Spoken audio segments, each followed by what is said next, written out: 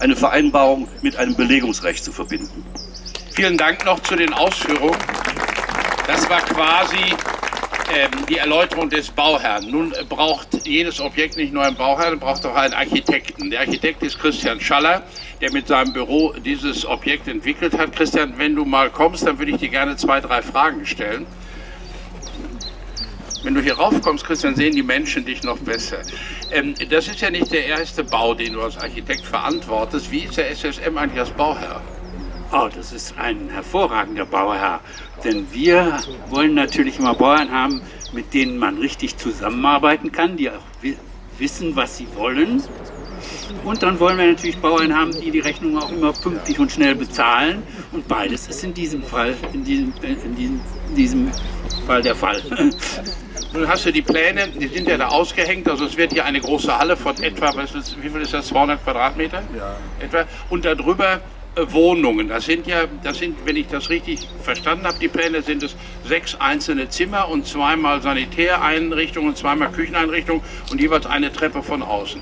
Das Ganze aus Beton, aus fertig äh, Betonteilen. Deswegen ja auch die Ansage im Mai soll richtfest sein. Warum Beton?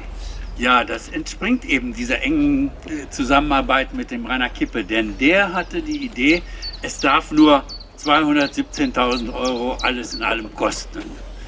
Und äh, äh, der Rohbau natürlich eigentlich noch viel weniger, also die Hälfte eigentlich.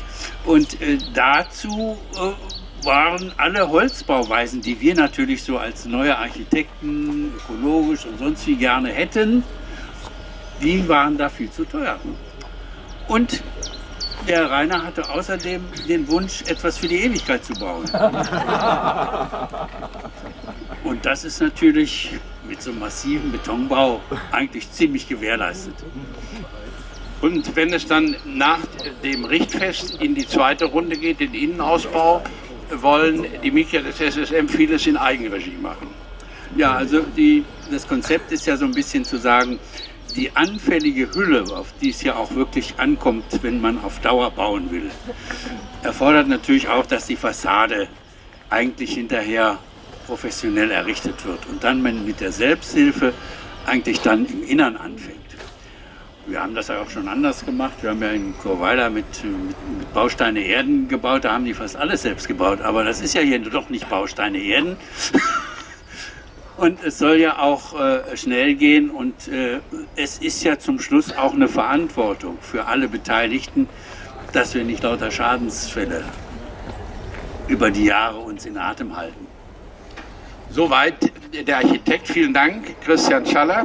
Nun äh,